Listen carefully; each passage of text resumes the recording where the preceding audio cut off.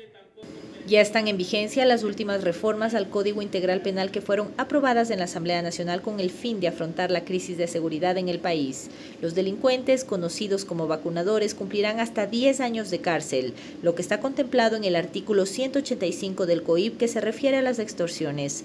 Antes de la modificación, la máxima sanción para este delito era de 7 años son una cantidad importante de reformas que buscan fortalecer principalmente al eje de justicia y evitar la impunidad. También se han previsto sanciones para los funcionarios judiciales que incumplen la ley. La sanción de prevaricato para los jueces, la protección para jueces y fiscales cuando son amenazados por el crimen organizado y se han endurecido las penas para delitos de crimen organizado y terrorismo. No solamente se aumenta la pena, sino también se tipifica otro tipo de delitos. No se olviden que antes no estaba tipificado que desde adentro de las cárceles, en estas matanzas que se han dado, que han creado terror, los líderes que terminaban mandando a decapitar a tanta gente sean considerados terroristas. Hoy son considerados terroristas. Hemos incorporado también eh, en el tema de las cárceles eh, un régimen disciplinario. Los los privados de la libertad cometían delitos al interior de las cárceles, cometían infracciones al interior de las cárceles y estas no eran sancionadas. Hoy con el régimen disciplinario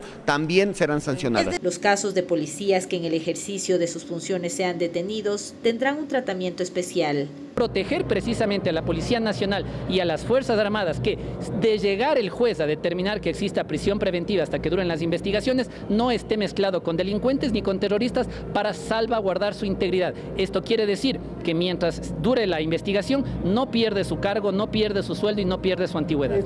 En el marco de los cambios al Código Penal y el trabajo interinstitucional para hacer frente a la inseguridad, el presidente de la Corte Nacional de Justicia, Iván Saquicela, y otras autoridades estatales acudieron a la Asamblea Nacional la tarde del jueves con el objetivo de entregar otro paquete de reformas al COI para combatir la corrupción y el crimen organizado. Para UCSG Noticias, Adriana Bermeo.